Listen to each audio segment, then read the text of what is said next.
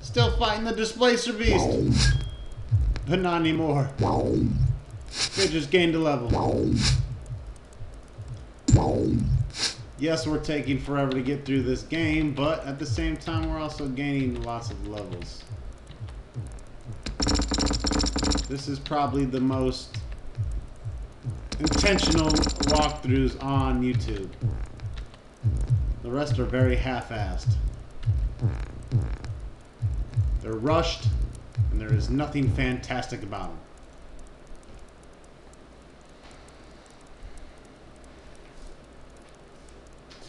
My walkthrough, on the other hand, will remind you of the very first time you played the game.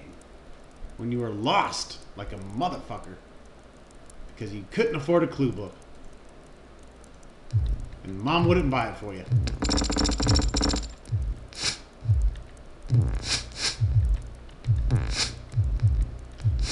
I'll give you 10 bucks if you hit the guy.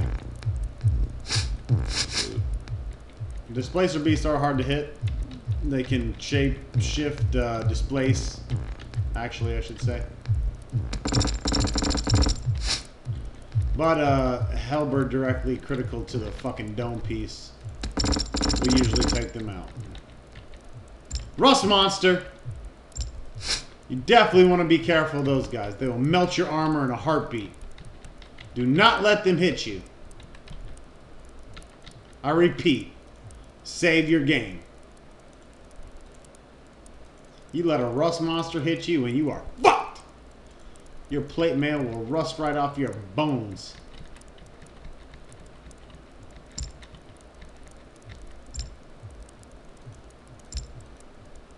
I got a question for you. Where the fuck are all these keys? Can you pick this yet, Fidget? You couldn't pick your way out of your nose. Jesus Christ. The fuck is the point of having a thief again? Exactly. This is why I don't take thieves. The cunning and the agile survive. Well, also the cunning and the people that know how to save their fucking game, too. That wasn't very agile. We have some bones here. Severius, the longsword. That is a good longsword with a shield. Some plate mail and some more bones. The plate armor is not magical.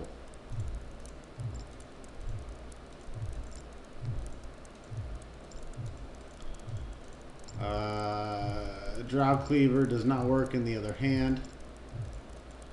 I can't remember. I think Severius is a pretty devastating longsword.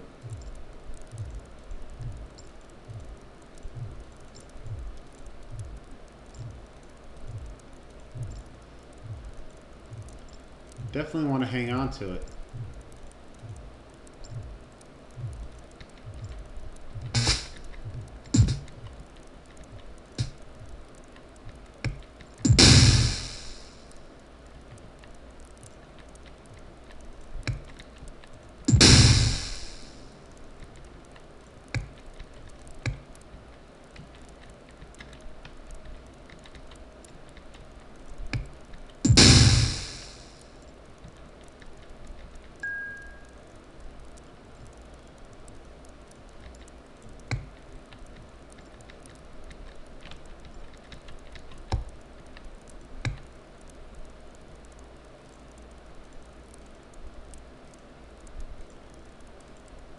Hmm. Combination lock, be quick.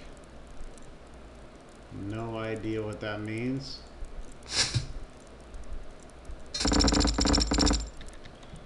As long as the door opens, that's all I really give a shit about.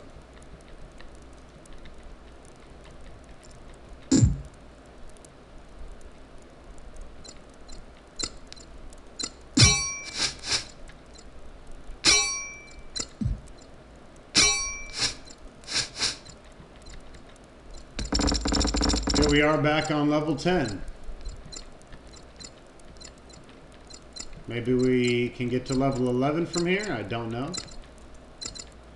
We are in the hive.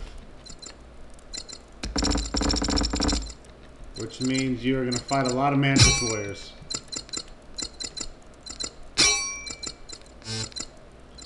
Which means get that lightning bolt out. And that remove paralysis. And get that save game out. That's another good one to have.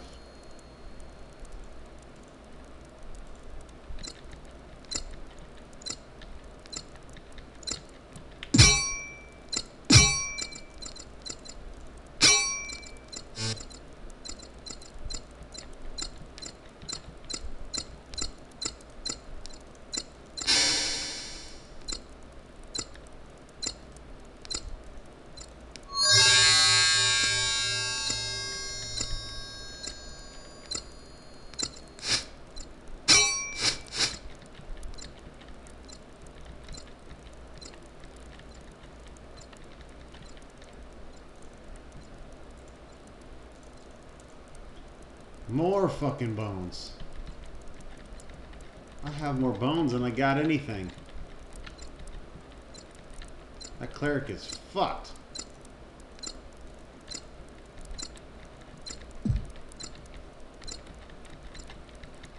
Gonna explore the hive here. It's more or less a little mini labyrinth of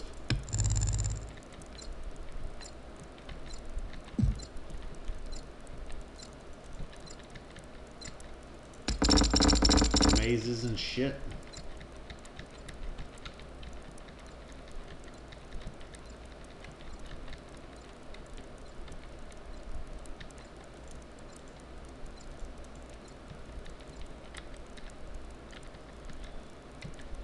All right, the stairs up.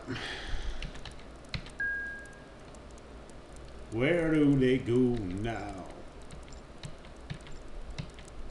I believe that's the raised dead place I was at earlier.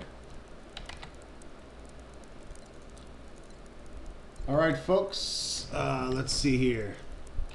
This is going to be my last video of the day. Uh, I know I promised to stay away from other videos until I was done, but I lied. I'm going to do something else because this is driving me fucking insane.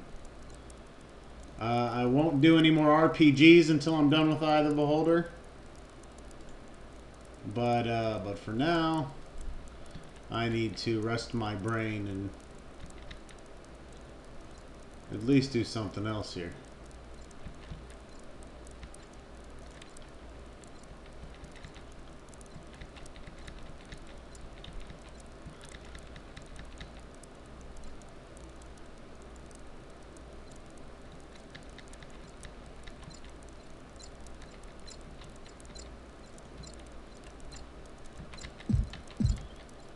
If this wall was out of my fucking way, we can continue to the next level.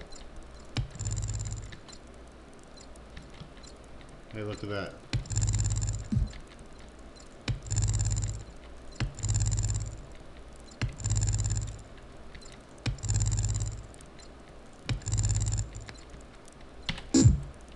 Next level, alright. Maybe I'll do another video. I am pretty anxious to get that Dwarven Potion. Your fate lies in the stars. So now we're on level 11. Um, the last level of the game is level 12. Leave no stone unturned. The problem is, is we need to get the Dwarven Potion and return uh, Keirgar to the Dwarven people.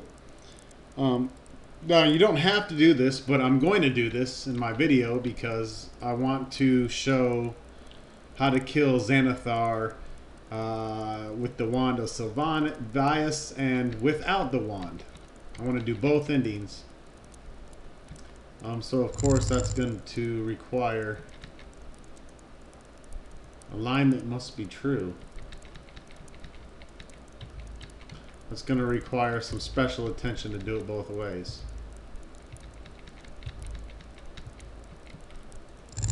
Six. Gotta watch these buttons, man. They're fucking tricky.